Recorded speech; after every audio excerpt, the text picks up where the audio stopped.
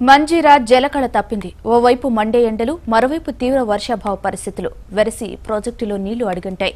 జలాశయం డెడ్ స్టోరేజ్కి చేరింది. దీంతో ఈ ప్రాజెక్టుపై ఆధారపడి జీవిస్తున్న ప్రజల పరిస్థితి అగమ్యగోచరంగా తయారైంది.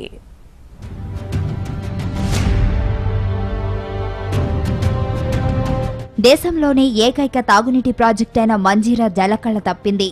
జలాశయంలో నీళ్ళు పూర్తిగా అడుగంటాయి. మహానగరానికి మంజీరా నీటికి ఉన్న యాభై ఏళ్ళ బంధం తెగిపోయే పరిస్థితి కనిపిస్తోంది. తీవ్ర వర్షాభావ పరిస్థితుల మూలంగా మెదక్ హైదరాబాద్ జిల్లా వాసులకు తాగునీటి గండం వచ్చిపడింది. ఏటా మేలో రెండు టీఎంసీల నిలువ ఉండే నీటి మట్టం డెడ్ స్టోరేజ్కి చేరుకుంది. గత ఏడాదికి ఈ సంవత్సరానికి నీటి మట్టం విషయంలో భారీ వ్యత్యాసం కనిపిస్తోంది. గత ఏడాది భారీ నీటి నిల్వలతో గేట్లు ఎత్తివేసిన అధికారులు ఈసారి చుక్క నీరు లేక వెలవెలబోతుండటంతో పరిస్థితి ఏంటా అని తలలు పట్టుకుంటున్నారు. మెదక్ జిల్లాల్లోని అనేక ప్రాంతాల్లో తాగునీటికి కష్టంగా మారింది.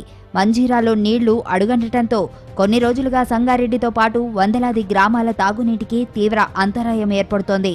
దీంతో రానున్న రోజుల్లో వర్షాలు కూరకపోతే పరిస్థితి ఏంటా అని ప్రజలు ఆందోళన వ్యక్తం చేస్తున్నారు.